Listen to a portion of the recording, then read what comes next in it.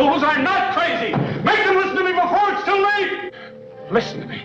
If you fail to understand, then the same incredible terror that's menacing me will strike at you! They come from another world, spawned in the light years of space, unleashed to take over the bodies and souls of the people of our planet.